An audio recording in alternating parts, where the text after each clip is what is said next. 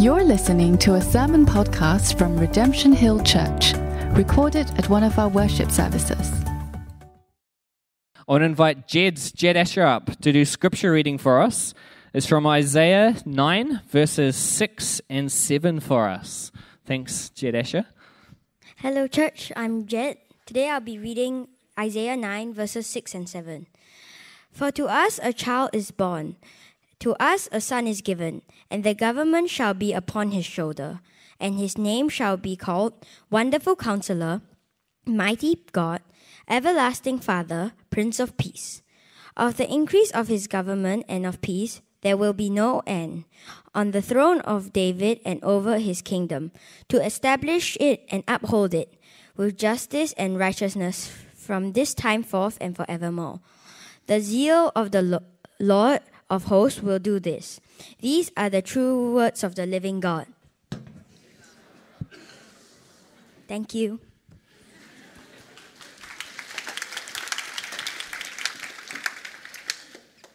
Thank you, Jed, for reading scripture so well for us this morning. Talking to him, I think we were in the washroom, and he said he's not nervous. He wasn't. Great. Good morning, everyone. Uh, welcome to RHC. It's a joy to see all of you. Um, I've, I've, actually been traveling for quite a few weeks. I'm, I'm back after uh, probably the longest time away in terms of Sunday, so it's really nice to be back in church. Uh, for those of you who don't know me, my name is KD, and I'm one of the elders in the second congregation. It is my joy to bring God's word to us today. So, uh, would you join me as we look to God in prayer? Father God, we want to thank you for this season as we celebrate the coming of Jesus. I pray, Lord, that you would help us to celebrate in waiting, Lord, during this time. I pray that as we look at your text, that you would open your text to our, to our hearts and our minds. Lord, that it, it would not just be head knowledge, but Lord, that as we look at your word, you would transform hearts this morning. In Jesus' name we pray. Amen. All right, so I'm going to start by asking a question. What do you think is the most popular female name in the world? Anyone? Michelle? Sarah? No, sorry. Mary? No, it's not Mary. Well, if you account for kind of variations in spelling, it's actually the name Sophia. You can see a Sophia sitting right up there. Um, now, if I don't ask the next question, I know you will start pulling out your phones and Googling, so let me do that. What do you think is the most common male name in the world? John? Yeah, Jeff is right. It's Muhammad. Now, now there are some amongst us who are very proud of our names, while others who have names uh, and wish that they were different. Or maybe there are some amongst us who give importance to names just based on circumstances. William Shakespeare's classic Romeo and Juliet gives us one such instance where a question which is pretty much immortalized in, in literature was asked by Juliet. So, as we know, Romeo and Juliet come from two different feuding families, and it's because of the family names that they cannot be together. And Juliet therefore raises the all important question what's in a name? And then she goes on to answer herself by saying, That which we call a rose by any other word would smell as sweet. The context being that it didn't matter which family Romeo came from, he would still be the sweet Romeo that she knew. But what's the first thing we do when we meet a stranger? We introduce them by our name, right? That is our primary identity. Now, we might create identities around our achievements, our relationships, the jobs that we hold, the job titles, etc. But over a period of time, those status might change. It might even go away. So the name is really one thing that remains with us throughout. And that is where we see that we have our identity, and identity is a big deal. Now, in the Bible, we see that names are also very important and especially meaningful. Abram, as we know, followed the Lord who blessed him and gave him the name Abraham, which meant father of a multitude. We look at Jesus, who called a fisherman Simon. He called him to be his disciple, and then he gave him the name Peter, which meant rock.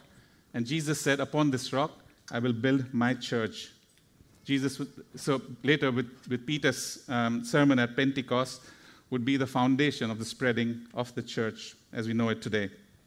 Now, in Genesis, we see that Adam was tasked with giving names to everything that was put under his care. There was a sense of authority associated with giving names. But it isn't just authority, there is also intimacy that is involved with giving names. We see in John 10 Jesus saying that he calls his sheep by name, he knows us personally. In Luke, Jesus again tells his disciples, Rejoice because your names are written in heaven. In Isaiah 43, the Lord tells Israel, Do not be afraid, for I have ransomed you. I have called you by name. Isaiah 49, when Jerusalem says the Lord has deserted us, what does the Lord say? Even though a mother might leave a baby in her womb, I will never do that. I have written a name in the palms of my hand. When you name someone, it shows that there is intimate knowledge, a relationship, a privilege. We are now in that wonderful time of the year where it's December. It's a time where things generally slow down a bit. We kind of rewind, we kind of wind down. We start taking stock of things. It's a relaxing time, but it's also a time of great celebration. We look forward to the new year. We look forward with hope. But this is also the season of Advent a season of looking forward to the coming, the arrival, the birth of our Savior Jesus. Now, in the Bible, Jesus is called with numerous names which point to who he is and what he has done for us. Our text today points to a time which is 700 years before Jesus came in flesh. It was really the prophet Isaiah who saw and proclaimed what was to come, and he proclaimed the name of Jesus. Through Isaiah, God let his people know the fourfold name of the Messiah who was to come. That's what Jed read for us earlier today. Given God revealed the names of the Messiah, and given how important the names are in the Old Testament, in the, in the Bible, well, Old and New, it is important for us to dig deeper into the name. So, over the next four weeks, as Jeff said, we'll be looking at the four names of the Messiah that we find in Isaiah 9. But what we'll do today is we'll specifically look at the first one, which is Wonderful Counselor. So, my sermon today is titled Our Wonderful Counselor, and it's really focused on the first of those four names. And what I'll do is I'll try and piece together some of the broader context of Isaiah and hopefully use that to bring into context what it means to have a wonderful counselor. My hope today is that we recognize that our inherent sinful tendency is to actually look for counsel outside of God we either look at our own selves or we look at people around us. And we do that because A, we struggle to wait on Him, and B, we do not see the full glory of His wonder. But God, in His grace, has given us a gift, a gift of a wonderful counselor, and that is found in the name of Jesus. So, as I try and unpack this, we'll look at it from three perspectives or three points. My first point is a need for a counselor. Second is a choice of a counselor. And thirdly, God's provision for a wonderful counselor. We'll then end with some reflections and applications. Okay? So let's dive in. Now, our first point a need for a counselor. Now, let's have a quick look at the historical context of Isaiah. And though, we were, though the passage is Isaiah 9, I think we need to go back a little bit, right? So we go back to Isaiah 7. And as I said earlier, this is kind of 700 years before Jesus came um, as as flesh on earth. Now, on the eastern edge of the Mediterranean was a little country of Judah, right? And Judah was going through a very difficult time because they were facing an enemy that was very, very bad, probably even worse than the Roman enemies in terms of the oppression they were facing. And what was happening there is uh, in Isaiah 7, the king of Judah is King Ahaz, and he is flustered because Judah is going to be attacked very soon by this, um, uh, uh, you know, by, by, by, these two kind of um, uh, entities coming together. So it's the, it's the Syrians and the Ephraimites, right? So it's an alliance. That was the word I was looking for. They were unstoppable. They had already captured the northern part um, of the kingdom, and it was just a matter of time before they would come down to Judah. And at this point, we pick up Isaiah 7, chapter 1 and 2. It's in the screen, but let me read it. In the days of Ahaz, the son of Jotham, son of Uzziah, king of Judah, Rezin, the king of Syria, and Pekah, the son of Remaliah, the king of Israel, came up to Jerusalem to wage war against it, but could not yet mount an attack against it. The attack on Judah was imminent. How did Ahaz and his people respond to this attack? Let's look at the next verse, verse 2. When the house of David was told Syria is in league with Ephraim, the heart of Ahaz and the heart of his people shook as trees of the forest shake before the wind. Now, I grew up in India, and the school education process there is pretty rigorous, um, probably a little bit like how it's here in Singapore. There is huge pressure on a child from a very young age, and everything is geared towards the stream that he would choose when he moves into undergrad. And in India, you only had two streams. You had medical, engineering, and then you had the rest, right? And this is kind of many years back, right? It's changed now. And so we would all be in this factory, right, where we would try and kind of get into either one of these streams. If you did, it was like you've arrived, all right? You don't have to worry about your future, you'll have a job, you're secured. I got into that factory line as well in school, right? Working hard towards getting into one of the streams. I completed school, I completed my entrance test, and I managed to get into one of the streams. Actually, I scrambled through one of the, one of the streams, right? I was elated. I thought I had arrived. I was done, right? I didn't have anything to worry. It was a day of admissions, um, and I still remember um, I went for admissions alone. I didn't have anyone with me. There was chaos. There were some protests happening, and what that meant was there was a lot of confusion in that admission process. Everything was moving very, very fast. So I went, I, I chose a stream, and then we had to go through medical examinations. I did that. And after the test came out, the trees began shaking in my life just the way it was with Ahaz, right? Uh, the medical report said that I had uh, color blindness and that I wasn't eligible uh, to pursue the engineering stream. What would I do? Which way would I turn? I was all alone at the admission center. I didn't know who to turn for advice. I had no one I could seek counsel from. Now, you might say it's a little bit extreme if you compare the two, right? For Ahaz, it was a period of or decision of life and death. Well, if you ask an 18 year old who had worked all his life, it probably was for him as well. Now, in those moments, we're forced to make decisions, um, you know, in, in, a very short time. We've got to make quick decisions. In fact, our life is filled with moments where we have uncertainties and uncharted situations that we have no experience of. Our previous experiences hold no ground for what we go through. And I found myself in that situation. I was at a crossroad, and each moment required decision making. Now, we constantly need to seek and, uh, and look for instructions and advice. And therefore, the question for all of us is not whether we have a counselor to guide us, but who our counselor is. And I believe that was the question that was facing King Ahaz and Judah as Syria and, the, and Ephraim was on the verge of attacking them. What would Ahaz do? How would he respond? Whose counsel would he speak?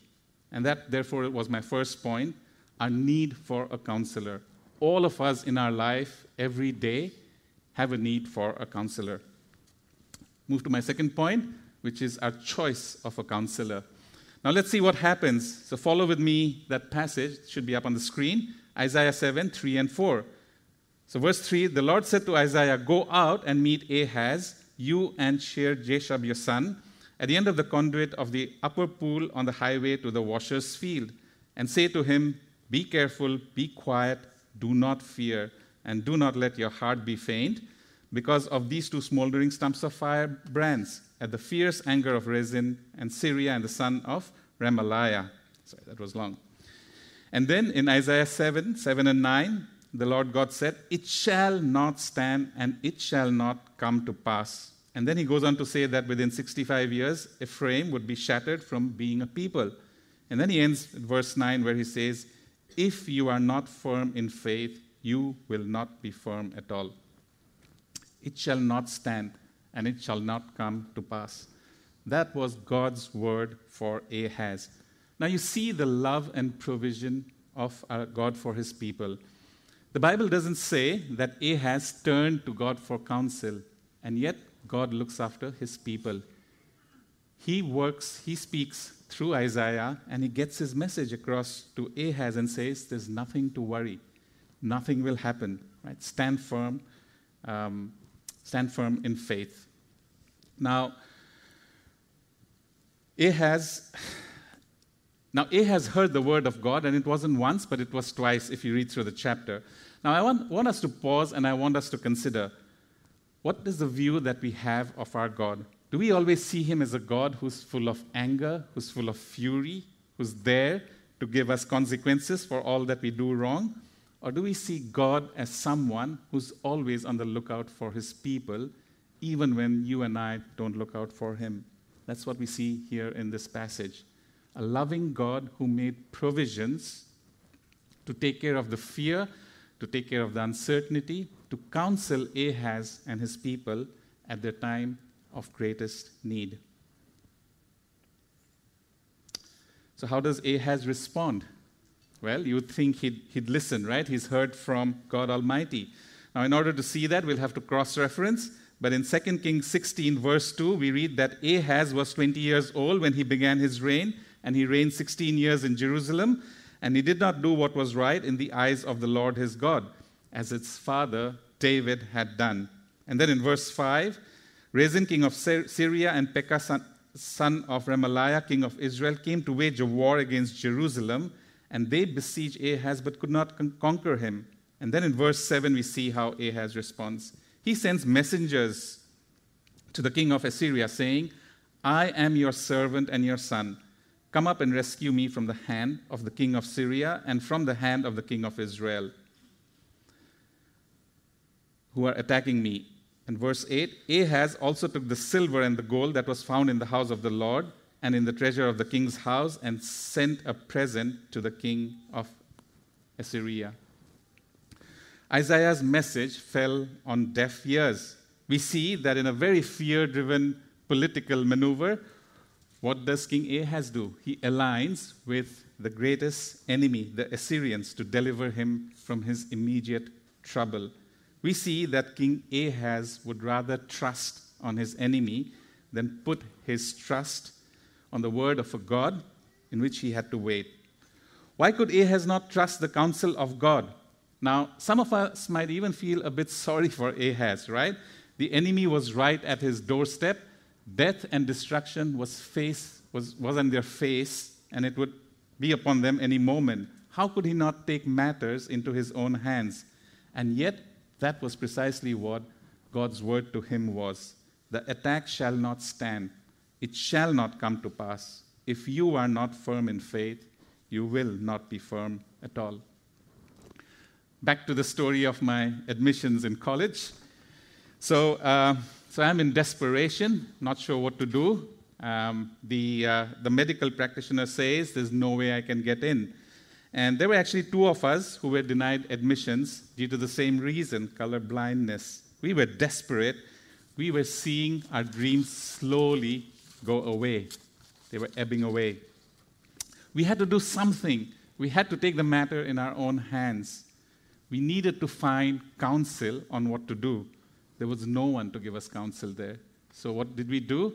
We turned to our own self, to our own counsel. And we said what we needed to do was to bribe that medical practitioner. that was the only way we could get through. And so we approached the, uh, we approached the medical attendant and we said, we will pay you something if you change the report. Um, to which he agreed. And then uh, what happened was we, the, the admissions, um, uh, the, the admissions head fortunately came. He looked at the situation, he stopped that from happening, and he actually marked us as very borderline and gave us admissions. Now, th- that, that incident was over, and I went through it. I'm obviously very shameful of it, very repentant of it. Um, it, wasn't a, it wasn't an easy time with my family when they got to know of it. We lived in a small town, and it wasn't just the family, it's probably the whole town got to know about it. It wasn't very easy. But I would always think back and say, why did I not wait? Why was it so difficult to wait? And I can understand why. Because I was looking at everything from my own lens, I was looking at counsel in my own selves. Friends, our inability to rely on the counsel of God is because we find it difficult to wait in a moment of big challenge. Ahaz found it very difficult to wait on the Lord. I found it very difficult. When nothing apparently seems to be happening, we try and take matters in our own hands. John 5 says that God the Father is always at work, never ceases. And so, can I encourage us to adopt a heart where we celebrate when we have to wait? Celebration of waiting. What are some of the worries that shake the trees for us today? Maybe there are students and parents, you've just got your PSLE scores, and you're now waiting to see which school posting would happen. It's a few weeks away, right? And you're worried. Maybe your trees are shaken. You were thinking that get into a particular school, and it looks impossible now. You're worried and you're tense. Maybe some of, some of you have lost your vocation, your job, and you've been waiting, but you just haven't got the next break. Time's running out. The tree's shaking. What do you do? Maybe there are some who've been waiting for a relationship to find someone you can spend the rest of your life with hasn't happened for years, and you continue waiting, nothing's moving. Maybe there are some who are in a relationship, but that relationship is broken. Someone you love dearly, you've been waiting for reconciliation, just hasn't happened. How do we choose to wait wisely while wait, waiting? So that was my second point. We all have a choice of our counselor. Which takes me to my third and final point, which is God's provision for a wonderful counselor. Now, if you look at Isaiah, we, we look from chapter 7, but the first five chapters of Isaiah are united by a theme about trusting God instead of trusting human nations. As we saw in Isaiah 7 onwards, it is how God's people turned against him. They trusted the nations instead of trusting God. And then through the rest of verse chapter 7 and chapter 8, we actually see God's, um, God's curse for destruction upon the people for not obeying him. Isaiah announces that God would use the very Assyrians that Ahaz had opted to turn to for help to, to devastate the nation. And the next chapter shows that the nation of Judah is in a very rapid decline. There's darkness all around. The axe of God's judgment is falling on them unabatedly. Isaiah 8 closes by signaling impending doom. The last verse of Isaiah 8 says, They will all look to the earth, but behold, distress and darkness, the gloom of anguish, and they will be thrust into the thick darkness. What did the people of Judah need at that point? They needed protection, they needed rescue, and they needed it immediately. And how does God respond to their need for protection and rescue? Let's find out. Now, in this moment of darkness comes another message from God through a prophet who's familiar to his people by now, right? Isaiah. Isaiah, Isaiah was totally realistic about the darkness that was engulfing Judah, and yet he had hope. And as we enter chapter 9, we actually move from darkness into something which is of light. There is no more gloom, verse 1 says. Misery takes away and gives birth to joy. Despondency actually turns into delight. So, verse 2 of Isaiah 9 says, The people who walked in darkness have seen a great light. Those who dwelt in the land of deep darkness, on them a light has shone. You see the love of God the Father. You see the love of God for his people. He continues to look after them. You know, when I, when I look at this, it's like, how does the light come into darkness, right? How, how, how is this light going to come? And verse 6 explains it by saying, For to us a child is born, to us a son is given. So, what Isaiah's solution to Judah on the impending attack is to say that you're facing darkness now, but don't worry, there's a child who's going to be born, a baby. That's it. It's almost like, you know, if you think about the early days of the war between Russia and Ukraine, the takeover of Ukraine seemed imminent, right? The first few days or the first few weeks. And I can imagine the people of Ukraine were very scared. They're just waiting. Russia's bombing. Uh, it's only a matter of time before cities would be taken over. And at that point, God were to come and say, Wait, help is near. There is a woman who's pregnant and there is a baby. It does seem to be a very unpragmatic solution at that point.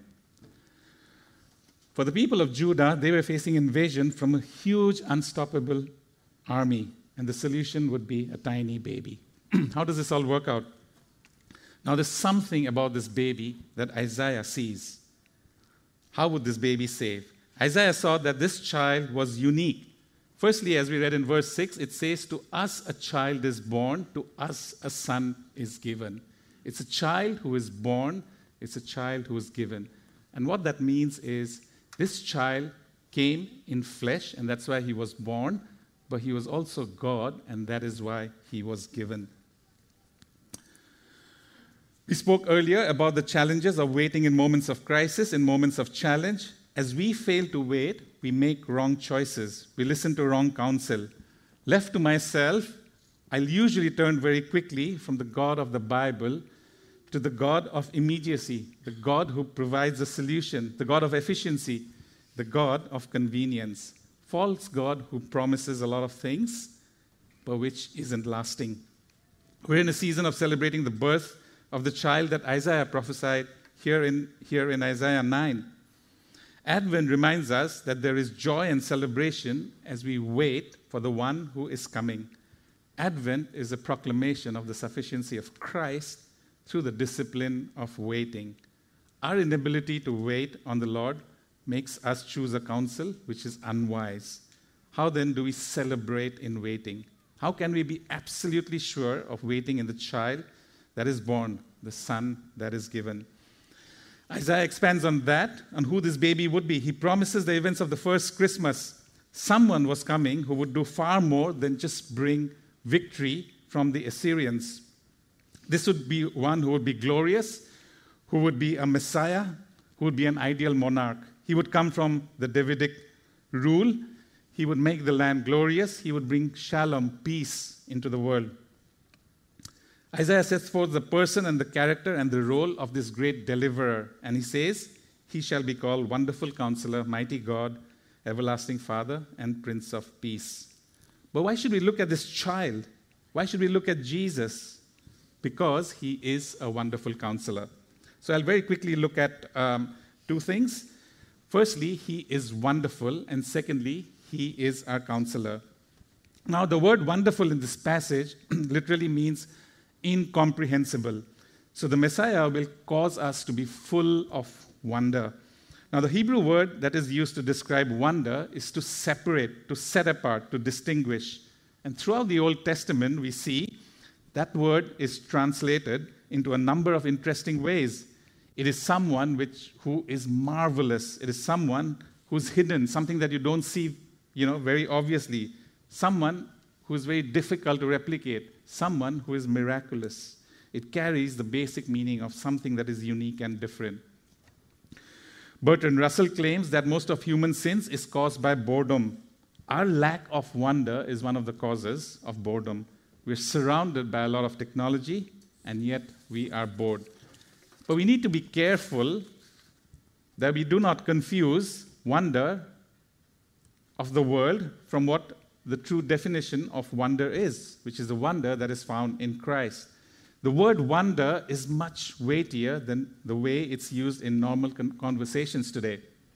We say things are wonderful when we like them, when they're pleasant, when they're lovely. We use it very flippantly today. But we live in a world where wonder is largely lost, and we lose sight of the wonder of God as we move away from depending on Him. This is where we lose Him as our wonderful counselor. So before we look at Jesus, who is wonderful, let's also look at what are some of the ways in which we lose sight of the wonder of Jesus. The first thing is we often think of wonder as something that comes out of ignorance, right? You go to a new city, you go on a new holiday, you see a new toy, you see a new device, you are wonder. You're filled with wonder, you're amazed. But actually, wonder doesn't come from ignorance. The wonder that comes from ignorance is very, very temporary. The real true wonder comes from knowledge. Romans 11 says that the depth of the riches and wisdom and knowledge of God is unsearchable. His ways are inscrutable. Right? For who has known the mind of the Lord? Who has been his counselor? And then in Colossians 1, it says, For in him, that is in Jesus, all the fullness of God was pleased to dwell. So everything that is in God is in Jesus. And that is who he is. He is full of depths of riches, of wisdom, of knowledge. He is unsearchable in his judgment. That is who Jesus is. Because Christ is so deep, as we gain knowledge of him, our wonder grows because we can never be out of knowledge of him. He, he, is, uh, he is so infinite in who he is. And therefore, as we look at Jesus and we look at his wonder, that is the true wonder that will continue to, to capture us. Secondly, we also build substitutes for wonder, and hence we lose our true wonder. The greatest substitute of all is sin, which is really the very essence of kind of what we worship outside of God. And basically, what we do is we substitute the wonder of God and substitute it with sin in our lives. We look at things that are quick fixes, things that will give us pleasure, things that will give us joy, happiness in the short term. But real joy, real wonder can come only through Christ.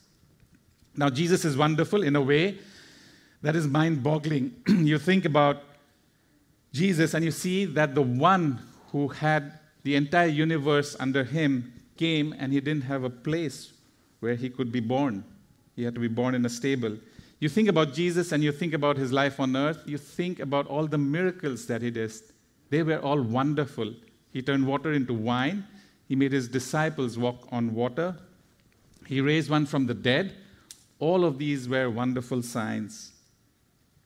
But the greatest wonder was how Jesus took the shameful symbol of the cross and he gave it a symbol where God's love and man's sin met. Consider the wonder of his death. He knew he would die, he came to die, he was prepared to die, and that was his way of reconciling us to his Father. Jesus is wonderful because his ways are beyond us. Who could have thought of and imagined that the only way to reconcile us to the Father was by, by, by dying on the cross, by having one who is sinless to die on our behalf? But that is the depth of God's wisdom. That is the, that is the um, yeah, that's the depth of His wisdom that we cannot understand. And yet, as we gain in knowledge of that, we are struck with wonder. Secondly, He is our counselor. As we saw earlier, we are all in need of counsel every day. We need to be careful where we receive counsel from. You'll see in Genesis 3, even Adam and Eve received counsel from the devil. But God, in His love and provision, has given people around us. He's given people with wisdom, love, and care who can guide us with good, godly wisdom. However, giving counsel to his people is one of God's most gracious work. We see in James where it says, If any of you lack wisdom, let him ask God, who gives generously to all without reproach. But is Jesus qualified to be our counselor? Of course, he is. He has everything that is the fullness of God. 1 Corinthians 1:30 says, Christ Jesus became to us a wisdom from God. So as we look at Jesus as our wonderful counselor, we have the wisdom of God. Now, often a professional counselor will hear words like, oh, but you don't understand what I'm going through. And that is true, right? For us, you know, when we counsel people, um, we cannot or will not have all the experiences that that person has gone through. But in Jesus, we have one who doesn't only have the wisdom of God, but he came in flesh he went through all the emotions, all the struggles. He went through all the temptations that you and I have gone through, and even more as he gave up his life on cross. So we can come to this wonderful counselor because he is one who has experienced it all. I'd like to conclude by saying that we began today by saying that it is very important uh, names are very important for us names are important in the bible names gives us identity Jesus gave up his name, gave up his identity by taking on flesh, by coming as an infant, by coming as a baby. The all powerful one took the form of an infant, but God exalted him to a name above all names. And we who put our trust in Christ's finished work on the cross are saved by his name. As we said earlier, all of us need counsel in our life every day, right? We cannot escape from it. But the question is who do we look to for counsel? Do we celebrate in waiting? Can we trust in our wonderful counselor to give us the right counsel? Jesus Christ is the most wonderful counselor. He's the one who, in his wisdom, gave up his life so that we could be with God forever. I'd like to end by very quickly talking about four applications. And I'd really like to end by looking at a few very practical ways by which Jesus counsels us. Right? So the first thing is Jesus doesn't have office hours. If you go to a counselor, you've got to take an appointment, right? You've got to uh, fix up a time, right? If the counselor is speaking to someone else, you've got to wait. Jesus doesn't require that. We've got to realize that Jesus is not a thing, but he is a person, that we can come to him at any time. So if you're at a crossroad this afternoon, if you're struggling through a decision, go to Jesus, go to Him for counsel. He is there for you. Secondly, Jesus speaks to us through His Word. The Bible is not a stack of verses that we kind of read and take up, but God uses His Word to counsel us. He uses His Word to shape us. So look to His Word. Thirdly, Jesus listens to us through prayer. He is available for us. Prayer is just talking to Jesus. Talk to Him. Bring to Him what your worries are. And then lastly, Jesus gives us community to point to Him. We have this community here, the body, and we all serve one King, one God. And what we do is we point each other to that God, to that wonderful counselor. Will you join me as I close in prayer? Father God, we want to thank you, Lord, for the gift of a wonderful counselor. Lord, we, we thank you, Lord, that, that we recognize, Lord, that we often fail to look for counsel in Christ, and instead we look for counsel outside. And that is because, Lord, we find it so difficult to wait on you. Lord, we do not see the true extent of your wonder Lord, we are easily distracted by the small wonders of this world. Help us, Lord, to see that wonder that is in you, Christ.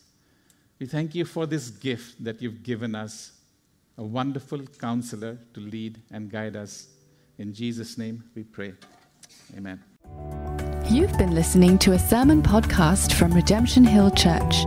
You can find more of our sermons online at www.rhc.org.sg.